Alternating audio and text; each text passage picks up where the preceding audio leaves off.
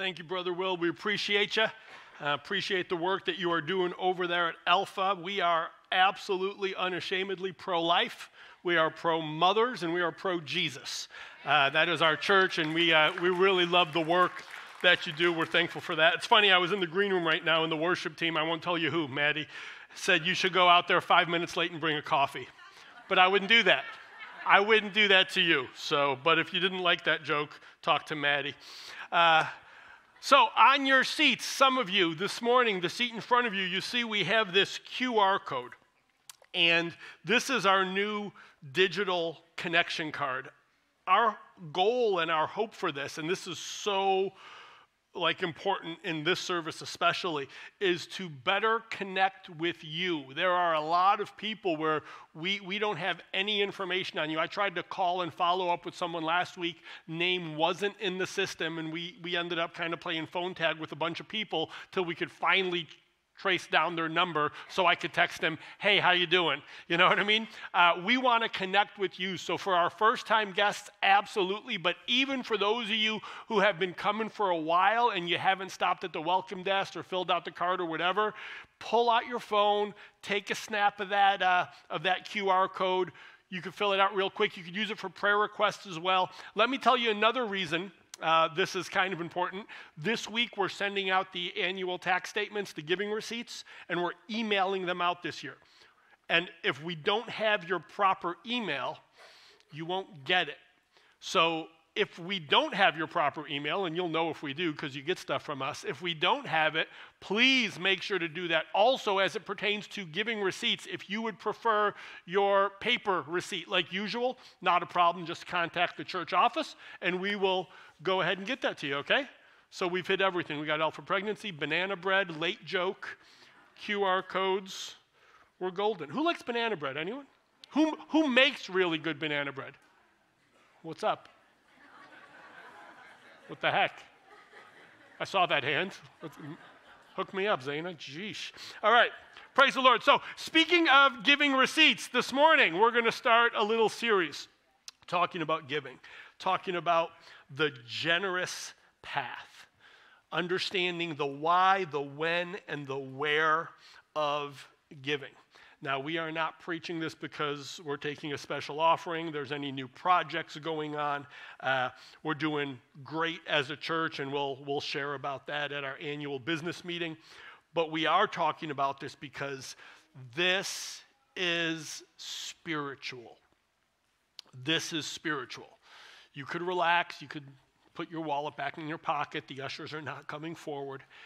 This is super spiritual um, thoughts about money and attitudes and philosophies about stuff destroy marriages, destroys families, it destroys friendships, and it hurts people's faith. You, you have to take my word for it. This is spiritual. Did you know in the Word of God, it has more to say about finances than it does about heaven and hell combined? Let, let that soak in there. The Word of God talks more about finances than it does heaven and hell combined. Why? Because this is important stuff. This is important stuff. And I, I love the topic. I'm not going to lie to you. I like the topic of giving, and I hate the way so many have presented giving in, in the church in, in America and modern day. I hate the, uh, the manipulation and the tactics and the, the twisting of scripture to try to motivate people to give more. It drives me crazy. If you've been at this church for any length of time and you've thought to yourself, oh, our church doesn't really do that, that's why. It's awful. It drives your pastor nuts. In fact, when other churches do it, it hurts us because then you try to tell your friend about Jesus and they think, oh, you're one of those churches who's only after the money or something. So understand when, when other churches or ministries do this wrong, it hurts us.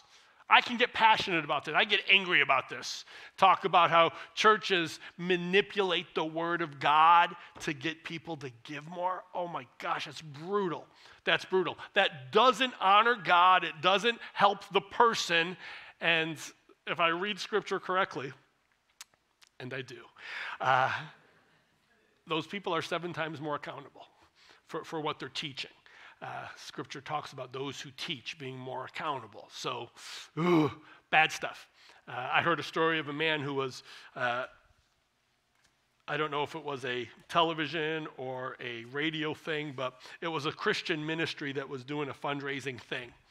And they were doing I don't want to say the typical because it's not typical here, but those, those typical verses that if you give, God's going to bless you right back, and, and a lot of these other things to manipulate people into giving, to maybe guilt them into giving.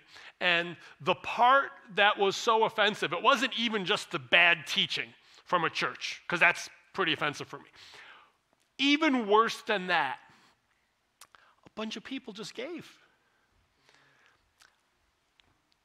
The, the discernment in the body of Christ, it's not where it needs to be. Our knowledge on what God's word teaches on this, maybe it just isn't where it needs to be. Maybe that's why pastors, churches, ministries get away with teaching garbage because we don't know the word like we should. So I have two purposes for this sermon series, and both of them, one of them will hit you. One, we want to talk about the importance of a generous heart and how giving is a part of that, and we want to develop that heart to be more like Jesus. Two, I don't want you to be manipulated in your giving. So if you're like, I'm not giving nothing, you're going to enjoy part of this sermon too, because I'm going to tell you why you shouldn't give, okay? So whether you're generous or you're not, you'll enjoy the sermon. It'll, it'll help you on either end. Knowing what God's word teaches is absolutely critical. And because of the impact, listen, are we going to sit here and pretend finances don't play a role in life? Like you live on some cloud, like you're on some other planet and nobody cares. It does, it, it matters. It matters and it impacts us and it impacts our family, causes a lot of stress in marriage. Uh, could hurt our future, young people. You, you could make decisions in high school, college, that hurt you for decades. Like, there's a lot here. We, we want to know what God's word says. We want to do it right, and we want to make sure that our heart is where God wants our heart to be. That makes this spiritual. And we've been talking for the last couple weeks about having our best year ever. This is part of it. Get, getting our head wrapped around what God says about our finances and such, this is part of it. So we can be everything that God wants us to be, so we can do everything that God wants us to do. Our series verse comes out of Isaiah 32. Isaiah 32 says this it says, But a generous man devises generous things, and by generosity he shall stand. Very generous with that word, generous. Uh, a generous man devises generous things, and by his generosity he shall stand. We really want to focus on how God wants our heart. God doesn't want something from you. How many of you here know this morning there is nothing that you own or possess that God wants? Nothing. God is not in heaven looking at you and your new vehicle thinking, man, I wish I had one. Do you know that? Do you understand that there's nothing that you own that God has any use for? Right? Okay, so God is not after your stuff. God, however, is passionately after your heart. God does want your heart. And when we start talking about money, finances, people start to get uncomfortable we start to realize through the lens of Scripture this is a heart thing. It's not just a money thing, this is a heart thing. Where is my heart? And Jesus talks about this quite a bit. God wants us to be generous. So, one of the most important lessons when it comes to giving, when it comes to developing generosity, has to do with motivations. And I want to talk about motivations, the why of giving this morning. And the reason that you give is more important than what you give. Let me tell you that again. The reason, the heart behind why you give is more important than the amount, spiritually speaking. Spiritually, the amount is whatever, but your heart is everything. And why we give matters. In 1 Corinthians 13 3, Paul talks about this. He talks about the motivation behind the gift being more important than the gift. 1 Corinthians 13 3. This is the love chapter, right? You know, love. Love is patient. Love is kind. Love does not be mean to people. You know the verses, right? You hear it at every wedding. Before that, 1 Corinthians 13, Paul says, And though I bestow all my goods, all my goods, to feed the poor, and though I give my body to be burned, but have not love, it profits me nothing. Now, I think it's interesting here. Paul is not making up ridiculous examples. We read in the book of Acts, people were selling everything that they had and laying it at the disciples' feet. We also know through history, Christians have been burned at the stake. So what we read today is like, oh, he's using, he's using that, you know, excessive language to drive home a point. This was happening in Paul's days. Paul knew people who gave everything, and he knew people who were burned for their faith. And Paul says, even if I gave everything and I was burned at the stake, if I don't have love, it doesn't help me at all the point, the motivation is superior to the action, the heart behind it. And we know this from all of Scripture. We know this from everything that Jesus taught. He would go through the, the Ten Commandments and then he would add to it. He, he would expound on it, I should say, where he would say, You've heard it was said, do not steal, but I tell you, you know, do not take anything from your neighbor. Do not commit adultery, but don't even look at a woman to lust after her. Love your enemy, but I tell you, bless those who curse you. And Jesus would take everything that looked like, okay, we got to follow this. He'd say, No, no, no, this is a heart thing. You got to make sure your heart is right. So the motivations of giving, why we give, why we do what we do, are very important in the faith. Let's talk about some wrong motivations. There's a lot of teaching out in the world today. Um, call it the prosperity gospel, call it like a prosperity light gospel. Less filling still tastes great. Uh, this idea that if you give, God will bless you. Period.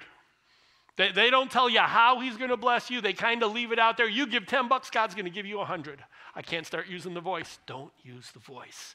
Don't use the voice. Got it. Okay. So th- this idea, this idea that giving to God is an investment strategy. Like, yeah, I got my 401k and I'm, you know, active in the market and I give to church and, you know, we're getting 8% here and 4 here and God's giving back 40%. So that Giving to the Lord is not an investment strategy. God does not promise you money. If you gave to the offering today with the expectation you're going to get back 10 times, you might not. In fact, you might get back zero times. In fact, we may use it to pay a heat bill. You're not even going to feel spiritual about it, okay? Because it's not about the money, it's about the heart and why we give. And does God bless us when we honor Him? Well, yeah. Like every area of our life, God blesses us. Does God promise to bless us with money when we give money? No. No, but people will teach that. Because you can find one verse out of Scripture that tells you just about anything. Well, you know, David saw a naked woman from his rooftop, so I'm on the roof with binoculars. What's the big deal, Pastor? you could twist the Bible to say whatever you want it to say, and people do, and churches do, and ministries do. And we get a bad name because of how other ministries talk about money and deal with money. And that's no good. That prosperity gospel, that you give to this ministry and you're going to be rich and wealthy, all of the saints of the Bible would disagree with that. In the New Testament, they would kick you out of the church if you taught that, and there was only one church. It wasn't like you can go to the other one. There was only one. They would kick you out of it. In the Old Testament, they would just kill you. So, Old Testament was a little harsher. We know that, all right? There is no saint of God who would agree with any of what that doctrine teaches. That is a wrong motivation for giving. If we give to get, that's greed. That's greed. How many of you know the Bible doesn't promote greed? Right? Like Bible's not a fan. Good. Okay, 4 of you. 4 of you know that the Bible is anti-greed. Should I be concerned? Maybe. I don't know. Giving to get, the motivation is greed. God's not about that. Giving because you feel pressured. Uh, manipulation. I heard someone say it. You, you put on a sob story. You have to give because if you don't, the children in Africa will starve and die. And you and and listen, I've heard those appeals before, and I'm like, I don't care if it's guilt or not. I'm giving because I feel awful. you feel like a sinner for not giving. How many of you know God is not honored with your manipulation? Right? God doesn't invite you to the cross to manipulate you into doing something. That's not it. Greed is a terrible motivation. Manipulation is a terrible motivation. Now, listen, church, there's, there will be needs that you will hear about and they will touch your heart and you will want to do something. That, that's normal to the human experience. And as, as Christians, we're, we're called to do things when we can, when God puts it on our heart. Can we financially or practically fix every world problem? No. Should you walk around feeling guilty because you can't fix every I don't. I don't. Maybe I'm a bad person. No. But when God when God gives me the opportunity and there's something that I can do and and and I feel God's lead, yeah, we give. That's not manipulation. Okay? B- being made aware of a need isn't manipulation. But that digging it in and turning the knife and really pouring it ah, too much. Too much. Greed's a bad motivation. Manipulation is a bad motivation. You know what else is a bad motivation? Recognition. I'll give, but I want to make sure other people see it and know it. And I could, you know, take some credit for it. Jesus talks about this in Matthew chapter 6. He talks about the religious leaders who made a show of their giving so other people would recognize them. And it, that Jesus says of them, they have the reward. Don't expect anything from God. You have your reward there. But what are the right motivations? What are some proper motivations when it comes to giving? We know Scripture tells us God loves uh, what kind of giver? Cheerful. When you dropped your offering in the buckets and back, did you give it a little, right? Just a little holy giggle because you're a cheerful giver, right? I think that's that's not how it works. Okay. Cheerfulness, a heart thing. How do we get there? How do we get from where we are today, a reluctant giver, a stingy giver, a very stressed out giver. How do we get to cheerful? How does God want to move us from where we are to developing a generous heart? And we're going to see that a, a part of that is going to be learning to trust God completely. Completely. That's part of how we get there. So let's talk about some right motivations. I got four right motivations for giving today. First one is this giving as worship. Let's view giving as worship to God. That means there's a priority to it. There's a certain importance to it because we're not giving for human reasons, we're giving it unto the Lord. I want to share two verses with you and I want to connect them because it's interesting. Both, both of these are words of Jesus. The first one's Matthew chapter 4. In Matthew chapter 4, the, the devil is tempting Jesus out in the wilderness. Every time the devil tempts Jesus, Jesus refutes it with scripture. Matthew 4:10, Satan offers him everything, all the things, all the stuff, if you'll bow down and worship me. Matthew 4:10, Jesus said to him, Away with you, Satan, for it's written, You shall worship the Lord your God, and him only shall you serve. The word serve there is the word I want you to think about. Now we fast forward, and in Matthew 6 24, Jesus is talking again about money. Oh, Jesus, all he ever talks about is money. he's talking about finances, and this is what he says, and, and pay attention to the word serve again here. No one can serve two masters, for either he will hate the one and love the other, or he will be loyal to the one and despise the other. You cannot serve God and money. Or for you King Jamesers, God and mammon. Or for people who just like to say mammon because it's fun. You can't serve God and money. And I started thinking about that word serve because Jesus used it with, with the devil in the context of I don't want all your stuff because my worship and my devotion are to God alone. He is the only one that I am going to serve. And when Jesus talks about money, he uses the exact same language. He says, You can't serve both.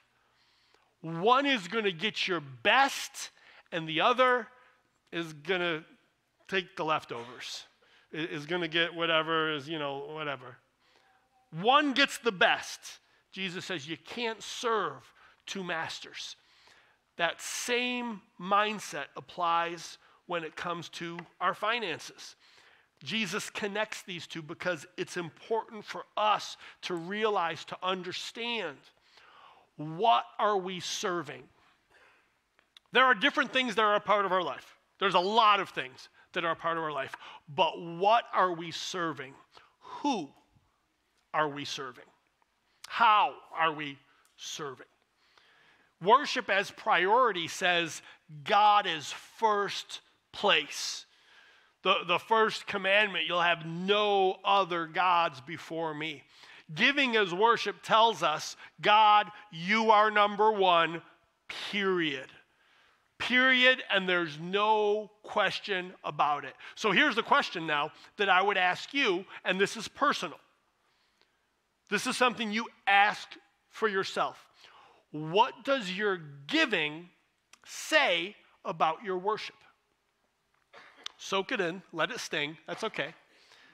What does your giving say about your worship? Does it say, God, you are number one, and I honor you with everything that I have? Or does it say, service was okay, worship was a little loud, my coffee was good but a little strong, here's a little something for the effort? What does your giving, are you tipping God for good service? You're like, oh, God, it was pretty good. You answered a prayer this week. Here's, here's a little something. Don't spend it all in one place. Or is our giving worship to God? Now, can we ever give God what he deserves financially? No. You give him everything. You're still short, buddy. he gave God everything you own, possess, had, ever will have. You go into debt to take out loans to pay God. We still can't give him enough. There is nothing, there is no amount you could ever give that pays for what Jesus did for us on the cross. Amen? Right? He gave because he loved us. That was his motivation. And we give because we love him. So the first proper motivation for giving is giving isn't manipulation, it isn't greed, it isn't recognition and self promotion. Giving is worship to God. Second motivation we give as a matter of obedience. So Jesus said it like this If you love me, keep my commands. Super easy, super simple. If you love me, do what I say.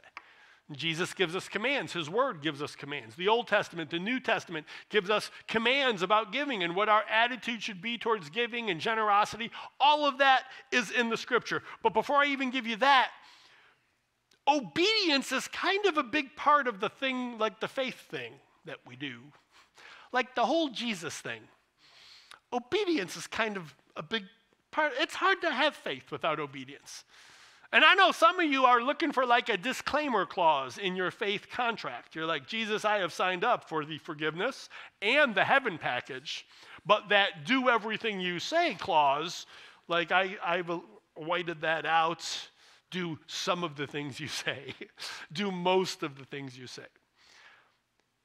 When we talk about obedience as believers, doing what God says kind of a non negotiable. Fair? Like if God says, Thou shalt not, we shalt notish? Not? We, we don't? right? Like obedience. This, this isn't hard. God's like, Thou shalt not murder. Well, lucky for you.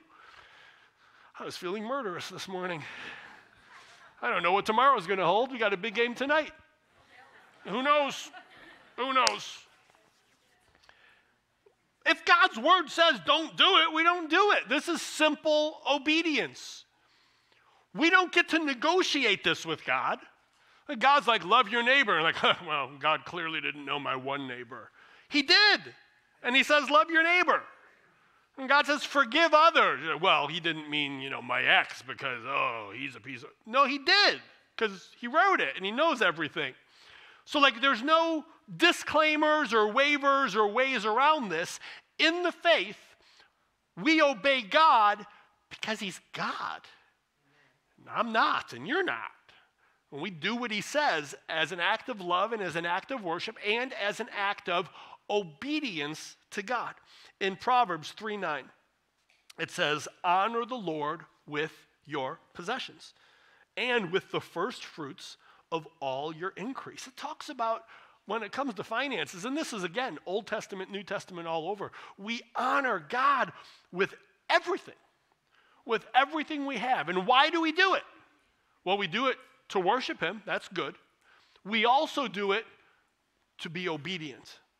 And listen, on the topic of obedience, there are a lot of things in the Word of God that it calls us to do that if the Word of God did not call us to do it, I don't know about you, I wouldn't do it. There are a lot of commands in Scripture about how to treat people. And if God didn't say, this is how you treat people, I don't know, maybe you're just a better human than me, which is fair.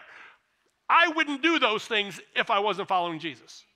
But as a follower of Jesus, I'm going to obey what his word tells us to do when it comes to how we treat people, when it comes to my marriage, when it comes to my children, when it comes to my work, when it comes to my play, when it comes to my finances. There's things in God's word that sinful Steve, that should be a character, right? We'd enjoy that little emoji too much. Sinful Steve, just put that on there. Listen, there's things we wouldn't do if God's word didn't tell us to do it. But because it does, we obey. And we do this already in hopefully every area of life because we don't get to pick and choose when we're obedient to Jesus. It's the same thing when it comes to finances. Worship is a good motivation, obedience is a great motivation. Third one, we give because we are thankful. We give because God has given us so ridiculously much over and over, and He still gives and He continues to bless. In First Chronicles 29, King David is preparing to build the temple. And God says, I don't want you to build it, let your son build it, but you can get everything ready. So he's getting everything ready. He's gathering all the supplies, the workers, all the money that's necessary. More money is coming in than they know what to do with. There's a certain point where they tell people to stop giving in the Old Testament because they gave so much. They're like, no, no, no, stop, we're good. Okay? First Chronicles 29:10, David is praying a prayer of thanksgiving to God. And I want to I want to share this with you. I really want to highlight one verse.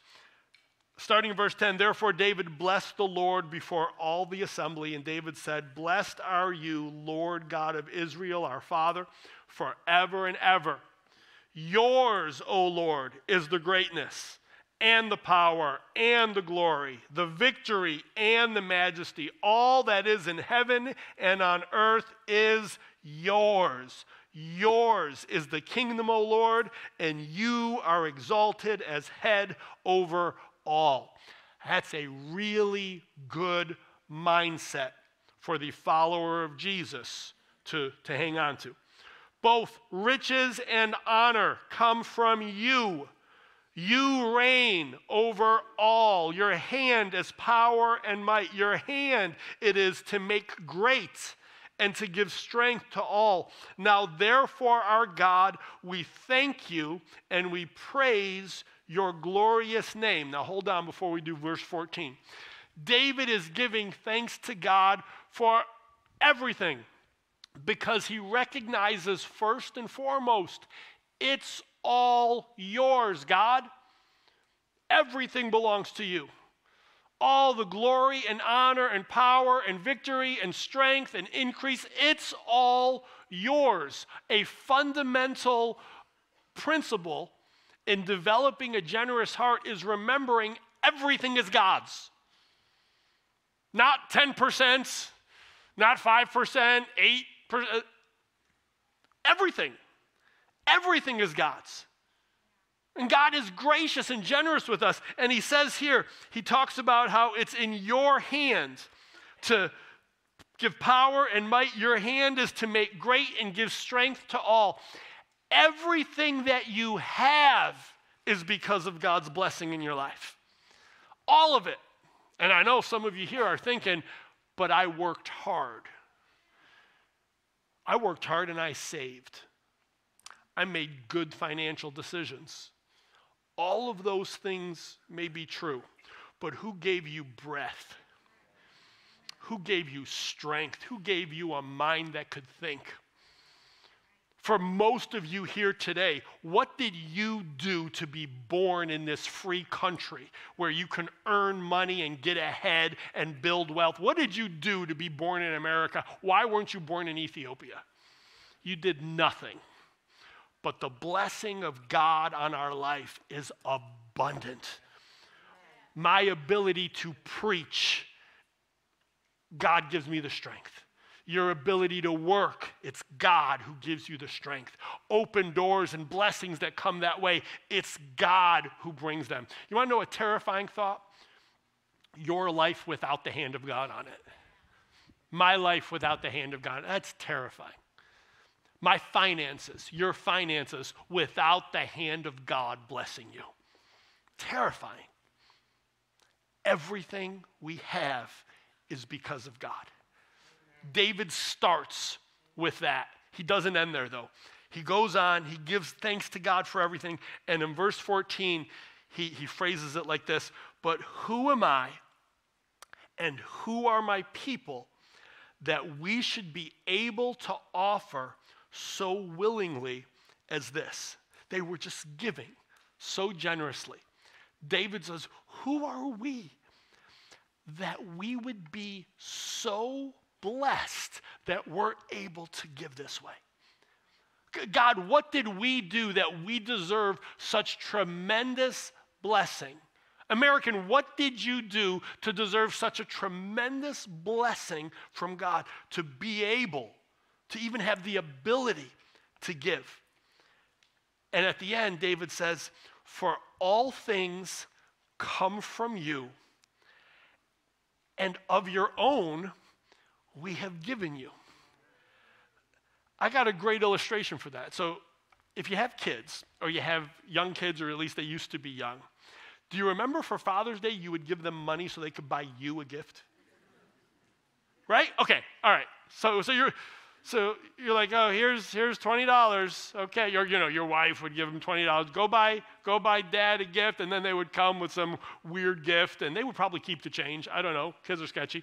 Uh, give you like a handmade card, pocket the money, I don't know, whatever. And they would come back with this gift, and you're thankful because, oh, thanks, I didn't even own any socks. That's amazing. It's a tie. Oh, who'd have thought? Okay. And, you know, we're happy. Oh, thanks, that's the best. And you know in your heart, like, that was totally my money, but whatever.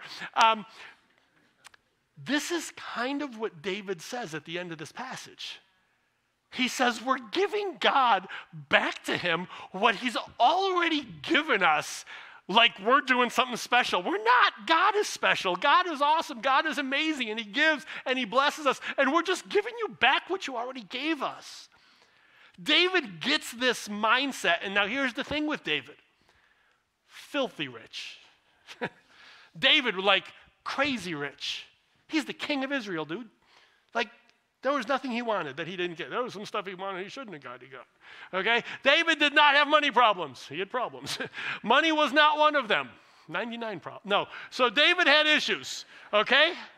And the idea here, David understood that all of his blessings came from God. Believer, we got to get there. We, we just, if you want to develop a generous mindset in your life, you got to realize that everything you have is because you got a Father in heaven who loves you and who has provided for you, who has watched over you. He watched over you when you were being stupid. When you were making bad decisions, He was still watching over you.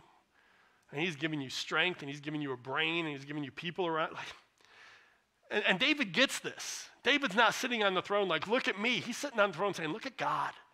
Look what God has done. It's all His, and we're just giving back to Him. What, what's His? Like, like the child buying the gift, we're just giving back what's His. David understood thankfulness. David understood the goodness of God. If we can't learn to be thankful, and this isn't just like a November message, right?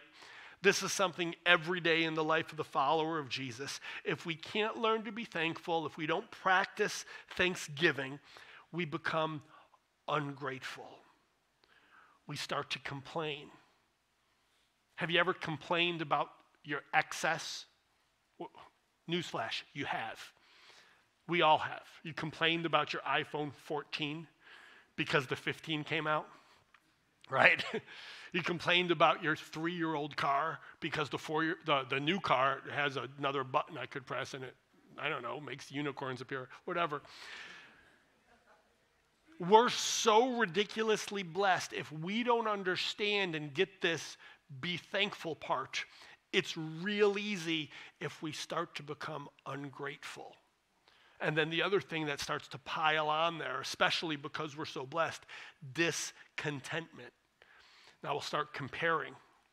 Well, it's good, but look at them and what they have. Oh, and we're not content. And the Bible tells us godliness with contentment is great gain. The Bible tells us the pursuit of wealth is a trap and it will shipwreck your faith. And we're like, yeah, but not mine. I'll be good. The Bible talks about this a lot to prevent ungratefulness because you have been blessed, to prevent discontentment and to develop that generous heart, we need to remember and learn to be thankful and give God the praise and the glory for who He is, for all He's done, and how He has blessed you, which is more than we deserve. Amen? So much more than we deserve. I'll ask the worship team to come up, and I'm going to give you one more, one more part. Last reason that we give talk about giving to develop a generous heart. See, that's what we started the series with being generous. And one of the reasons that we can give is so we can start to develop that generous heart. We got some gym rats in here today, right? Gym rats, we still use that terminology. They love to pump that iron get in the gym all the time, body by Cheetos right here, okay? So uh, we got some gym rats among us, or, or, CrossFit, because you can't do CrossFit without telling people. So if, if you're a CrossFitter, we already know, because you've told us uh, everywhere. We know. So this idea of generosity is a lot like developing a muscle. Now, you can go and you can read a book on how to do arm curls. Be like, yeah, mm, feel the burn, baby. And you read the book cover to cover, and you know it. Like, yes, that is the proper form and technique, and this is the weight I should start with, and this is how many reps I should bang out, and I should have rest days, and you just figure the whole thing out. And then after that, you're like, no, that's not enough. Wait, I'm going to watch some videos on it. And you go and you watch the, you click on Instagram and got your favorite fitness influencer and you're watching him and you're looking, you're like, man, oh, look at the guns, dude. Uh, and you're looking, you're like, not so much. Woo, woefully short. Uh, and I want you to know you can read every book that there is on the topic. You could watch every video that there is. But until you start lifting a weight, it's not going to do anything for you, is it? You're going to know a lot, It's not going to change anything. You could go next level. You could go to the gym, show up at Planet Fitness, pop a seat right on the bench next to the dude with the 45s, and he's and just watch and be like ripped. Whew, that man is shredded. What an absolute specimen of a human being. You could find out his workout schedule and you could go watch him every time he works out. You may get kicked out for that. I don't know. But at no point in your reading or watching videos or even sitting right next to someone else doing it, at no point are your muscles going to develop until you pick up some weights and start doing it. Do you know how to develop a generous heart? Start doing it. Yeah. That's that is literally the only way. This sermon ain't going to do it. All right? Go listen to another sermon. Still not going to do it. Read a book. Not going to do it. Come to the annual business meeting and hear about all the people who have given to the church this year and how much came in and how much went to missions. And it's impressive. Still isn't going to change a thing for you. Nothing's going to change till you start working your generous muscles. It's probably more like this, right? It's a different exercise. Write the check. Until you start giving, until you start being generous, you won't develop that heart. And for those of you who have been here, I do this with every time we talk about giving. You don't have to give here to develop this generous muscle. This isn't church wants your money. This isn't God wants anything from you. Give it all to Alpha. Will's here today. He gets the benefit of this sermon. Okay? G- give it all to Alpha Pregnancy and, and help, help that ministry. This isn't about God wants something from you. This is God has something for you. He has a heart that is not distracted by the stress of this world. You could have peace. Your marriage, you don't have to be fighting about money all the time. I want you to know I am not rich. I have no financial stress. And it's not because my bank account is huge. That's not the reason. I have no financial stress because I honor God with everything to the best of my ability and I don't worry about it because it's His.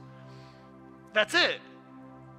And I want you to know this morning that can be you. It's not like a special gift for a pastor you don't have to carry that stress because once we understand this is all God's and I'm going to honor Him with everything and I'm going to worship Him and I'm going to obey Him and I'm going to be thankful for what I have and whatever God does is good and I'm going to trust Him with it, you can have peace. Peace is huge. Peace in your marriage is huge. Finances rip people apart, they rip relationships apart. You don't have to have that. God wants you, you, to develop a generous heart. Maybe you're already a little generous. Get ripped. Get shredded. Maybe you're still convinced that someone is after your stuff. You got that death grip on your wallet right now. You're like, you're not getting a penny. I leave my wallet in the car when I come to church just in case you preach this. You can give online. We're good. Just take out your phone. Uh, listen, God wants something for you. And until you get that, be careful because the call, and young person, I want you to hear this, and adults, you already know you're living in the friction. Jesus said you can only serve two masters. This world will push you to serve money and success and wealth. And God is going to say, Serve me only. And those two things are going to rub together in your life. And the sooner you pick God, the easier it gets. Otherwise, that friction, your whole life, most of the stress that people have with finances, Christian people, is that friction. Who am I going to serve? Who am I going to serve? So, we give as worship, we give out of obedience, we give because we're thankful, and we give to develop a generous heart. Church, God has blessed us so much. Let how we give and let the, the generosity that is developed in our hearts be a good reflection of everything that God has done for us. Would you bow your heads with me as we close this morning? I'm going to ask our altar team if they would come. Like I said, no special offering, no special projects. That's not the motivation here this morning. I want you to see giving as worship, but more than that, I want you to see that this is spiritual, that God is is wanting to get your attention for your growth and for your benefit so you can be more like Him. So, learning to understand that and, and grab onto that. This is for your growth. This is for your family, for your marriage. It's, this is for you. This is good. This is healthy. As we close the service this morning, we close it like we always do. Our team will come and sing a closing song, and this altar is open for prayer. And I know some of you came in this morning with some heavy needs, and they had nothing to do with money or generosity. But I want you to know our God is incredibly generous with grace and strength and forgiveness and healing and everything that we need. And and this altar is open this morning. If you need prayer for something there's some couples and people up here who would love to pray with you. Uh, I, I invite you to take take this opportunity. Maybe you just need to press in with god. Best year ever. 2024 best year ever. God you're going to change things this year more souls are going to come to you this year. God, I'm going to go deeper with you this year. I'm going to be more committed to your word this year, more committed to prayer, to the fellowship. God, I'm going to be more generous this year. It all links back. Best year ever. If that's you this morning, you need to make that commitment again. Maybe you just want to seek God and spend some time in His presence as the team joins us for this final song. Just encourage you, get out of your seat. Let's spend some time with Jesus as we close. Would you stand together with me? Let's pray together. Heavenly Father, thank you for your word and thank you that you don't just tell us about generosity, you are generous. God, you are generous with your love and your grace for your children. God, you are generous with your patience and long suffering towards us because, God, we're just a mess sometimes. And Lord, you give us strength each and every day. And Lord, you've blessed us so much more than we deserve. Let us say, like David, everything we have is yours. God, yours is the kingdom and the power and the glory and the majesty. It is all yours, God. You're the one who lifts up and you're the one who gives strength to our hands and you're the one who brings riches and honor. God, it's all yours. And we thank you for the many blessings that we've received from your hand. Lord, I pray for those with needs this morning, those committing just to be closer to you. God, get a hold of hearts. That's the only thing you want from us, Jesus. You want our hearts. Father, get a hold of our hearts through your word, through your spirit this morning. In Jesus' name. In Jesus' name. Let's respond to God this morning. God, there's nobody